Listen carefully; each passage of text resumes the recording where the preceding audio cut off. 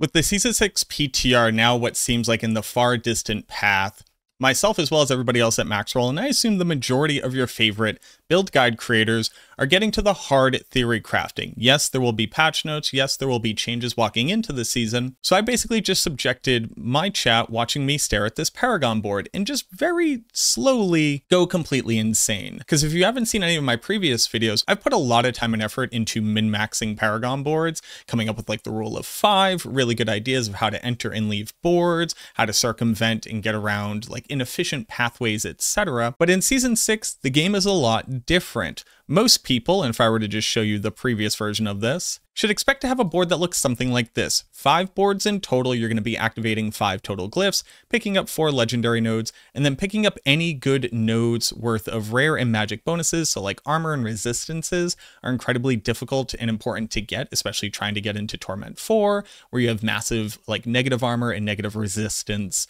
penalties. But it's going to participate in a lot more of your overall progression. Once you have enough of your total res picked out, you no longer need nodes like these, whereas before you get like like a really good pair of pants that has all resistance on it. Or maybe you pick up one of your first mythic Ubers, something like Starless Skies that gives a ton of all res, or Tyraels, obviously. What your Paragon needs to do and what it needs to look like for your character to hit all those caps is going to look very different person to person. That's not necessarily what I'm here for, but I want to give a little bit of context for why you probably need to spend a lot more time learning about the Paragon system now that we have as many points as we do stats on our gear are as high as they are, and what it means, the difference between what most people will do and what min-maxers will do. And I think a really good example will be looking at this current setup right here. This is going to be for my Sever Necromancer, and while I'm going to have a starter version, which is only assuming that you're going to be on Torment 2, so I only have to handle a certain amount of negative resistance and negative armor, building up into Ancestral, gear that you can't drop until you're actually in Torment, it'll always have a GA, you'll be able to masterwork it up 12 to 12, will start to look a little bit different. And then once you are on that mythic gear, something that you're going to have long before you ever finish leveling out your Paragon is also going to look a lot different. Right here, we assume that this character has 233 Paragon points. Just to give you an idea, getting up to Paragon point 200 is going to take anywhere between like five to six times as long as it took to get to level 100 in the past. So for your average character, that might be like a week or two of gameplay. For a blaster, that's the first like two or three days. Considering we got getting up to level 100 down to about like two to three hours, depending on your class and your build. But I think that realistically, most people who play throughout the entirety of the season will get up to about 250 Paragon points. And that might be a bit of a stretch, we'll have to see. The issue being that if you only get up to 250 Paragon points, you technically have like another 83 that you could get for those people who play throughout the entirety of the season. And things start to get kind of weird when you add that many Paragon points to a board. Now, things that'll be really important to understand about the current character that you're looking at here is that I already have well over 3,000 intelligence, and I also have thousands of additive damage. Now, for most people, what you'll end up doing is basically picking up every single rare and magic node, every single thing that says damage or your core stat. Uh, you may ignore ones that are more niche. You may not want to go get ones like damaged injured because those are only worth about 35% of their total value since it only works once a monster is at 35% of its remaining life. But the more that you build out and pick up these little nodes, etc., you're going to start noticing you kind of ran out. Now, this same example, but instead attempting to spend all of my points, started to drastically change what my boards looked like because your core stat nodes effectively become free. Now, what do I mean about free? If we were to go through this board, you will notice that I've picked up every single rare and magic node that says additive damage or core stat. I have gone to every single thing that actually works for my build, like here, shadow damage over time doesn't work because I'm a Sever build, I'm not a Blight build, I don't care about this node. But I've picked up everything. I've picked up every single maximum life node. I've picked up every additive node, even with ones that say like when I pick up a blood orb. I've picked up every single node that actually matters. Now, I haven't picked up things like damage to injured because again, they're only worth about a third of their current value. And at my current intelligence level and my current additive damage level, I need to get at least five additive damage to outperform getting five intelligence. Now, what do I mean to outperform getting that much intelligence? Well, let's go ahead and look at how much int I have right now, which is 3,401. At 3,401 intelligence, increasing this by a single intelligence node will increase my damage by 0.16%.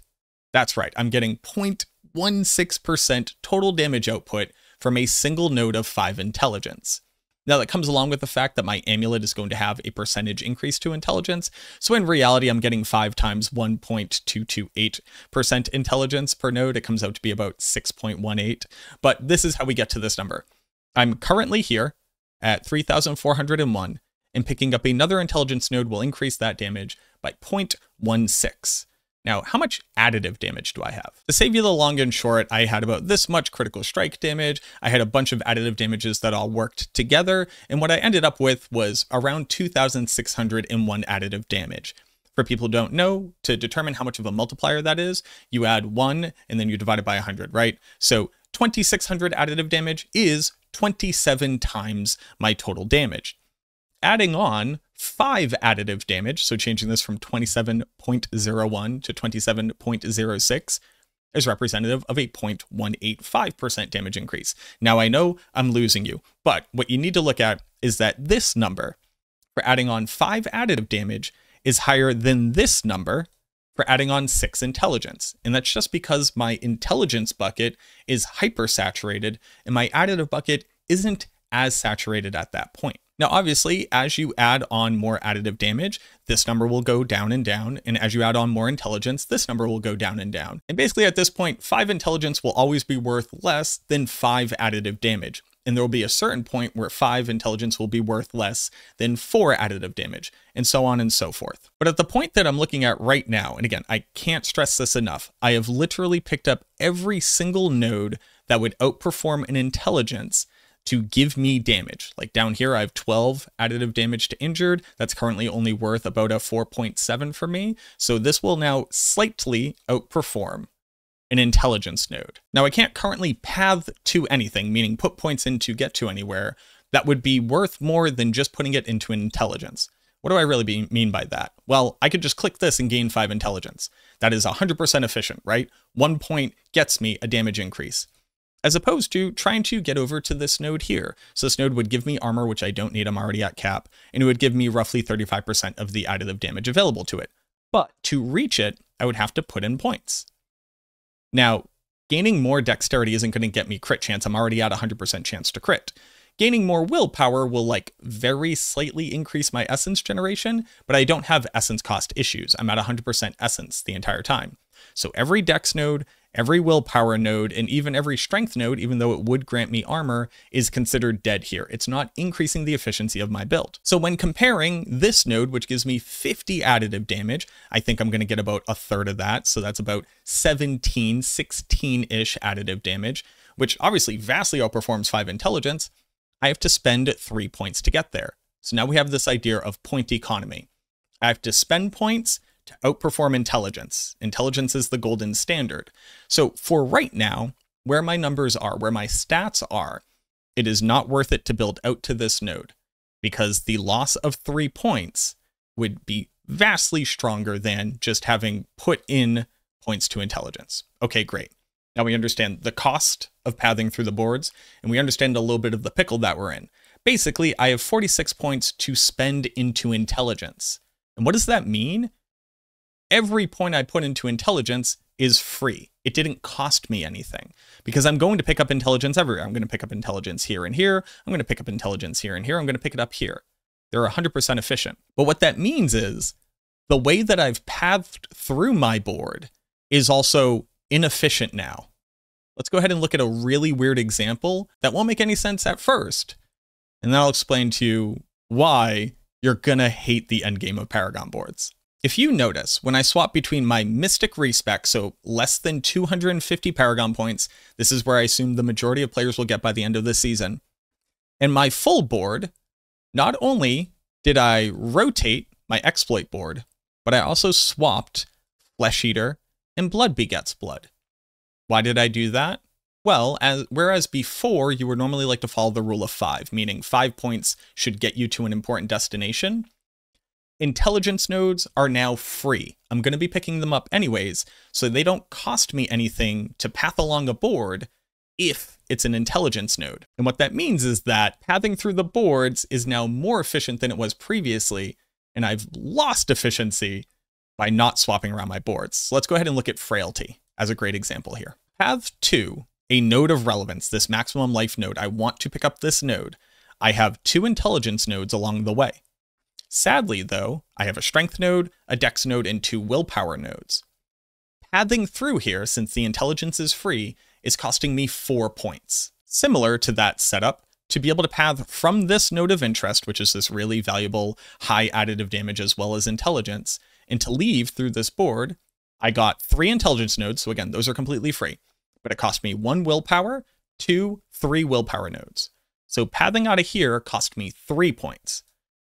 Pathing out of here cost me four points. Is there anywhere else on the boards that I currently have where I could outperform these costs of pathing? Again, assuming that now that I've picked up everything that's relevant, I just want to pick up as much intelligence as possible. There's no more additive damage for me to get. This board right here, which is super efficient to path to. Why? Because this is the Eliminator glyph. I want to pick up as much main stat as possible. It builds all the way over to here, so this cost me no points to get to here. Picked up an intelligence node, which I need to to max out this glyph, and then only cost me two points. So pathing through this board only came with a cost of two. But right over here, you'll notice that we have a really inefficient stretch of five points, right? Willpower, dexterity, intelligence, intelligence, willpower. But if all of my intelligence nodes are free, leaving the board via this path right here would only cost me three points. What does that mean? Flesh Eater should no longer be my dead end board because I actually want to path out of it. Because of this connection costs me four points. But this connection only cost me three points. By putting this board up here and by putting this board down at the end, I have gained a point of efficiency. I've gained another intelligence node I get to put somewhere else. And that's what I've been doing now for the past hour or two while looking at this and asking these types of questions. Is it better for me to actually pad this way as opposed to something like this, which obviously this isn't a great example, but what is the difference if pathing for longer stretches of nodes would get me a bunch of free intelligence nodes and effectively cost me less? The more points I can put into intelligence, the more damage I'm going to do.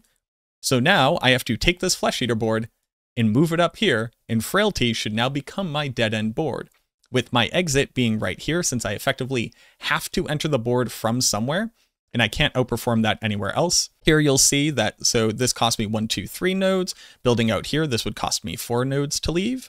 Uh, building out of here, one, two, three, four nodes to leave as well. I would never build out of this side, and this one's already inefficient. So let's use the power of editing really quickly.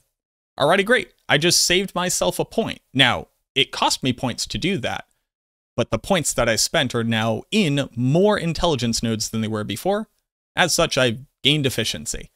I now need to go look at every single exit every time that I want to put in a single node and ask the question, do I now have a more valuable exit than I did previously? In fact, I just saw one right here. That's actually really funny. Uh, this exit right here has three intelligence nodes plus two intelligence nodes and would only cost me a single, either intelligence and wisdom or wisdom and strength. So this node is actually more efficient than even the exit that I just made here.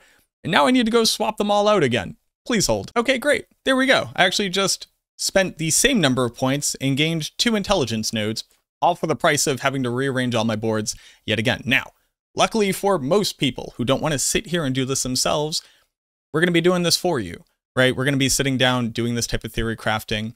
But I wanted to put this out because it's a realization and a difference in the strategy than we had previously. And it's something that's going to take a very long time to get exactly perfect what you need to do at any given moment to be able to outperform what your build was doing previously or what your board was doing previously. And again, for the vast majority of people, they're not really going to get to this point. They may have to figure out how to efficiently spend like 10 to 30 uh, Paragon levels, Paragon points, and maybe that just changes one or two boards and where you path in and out of them. But for the real end game, for the super meticulous end game, if you're looking to have a perfect build, a finished build, this is what we got to look forward to. I hope that that helps anybody who's been theory crafting themselves or trying to figure out like, how do I get the most out of this new system? Basically, the idea is take whatever your core stat is, uh, determine how much of a bonus it would grant you, adding on more of it to your build, figure out how much additive damage you have, determine what it would look like adding that onto your build, and then by the end of all of it, sit there and go point by point and go, is this one more efficient or is this one more efficient? Your core stat is always free because you're going to have to fill up the rest of your board with core stat. I don't think there's any combination of boards that actually has like enough relevant magic and rare nodes. Like over here, I have potion healing and life per second. I'm never going to build over to this. So I'm probably going to end up spending anywhere between like 40 to 60 Paragon nodes just into core stat. Uh, so yeah, sit down, ask that question, figure it out. Uh, always max out your glyphs at this point because they're probably going to outperform just putting it into core stat. And there you go. Thank you very much for watching this video. If you're brand new here, subscribe to the channel, leave a like on it as well. If I could have explained it better or if you would like more clarity or you want me to go into any one of these subjects in more depth, also let me know down in the comments. I want to try to get as much as I possibly can for people because this is a very interesting part of the lineage of Diablo 4, the story of Diablo 4, and how the game has evolved. And we're kind of all still just along for the ride here. So I'm learning, you're learning, we can help each other learn. But yeah, thank you very much for watching the video. I truly hope that it helps and look forward to seeing you in the next one.